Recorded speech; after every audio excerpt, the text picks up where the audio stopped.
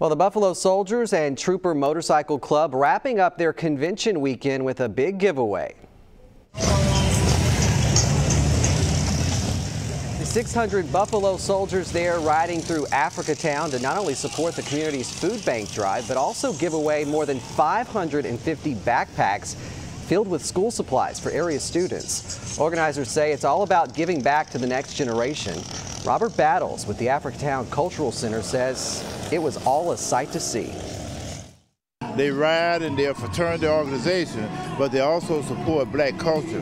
It was something to see. And look at they rode all the way through Africatown and woke up all the people. It was just like a thundering hurricane coming through Africatown. Well, the National Association of Buffalo Soldiers has been around since 1999 and continues to grow.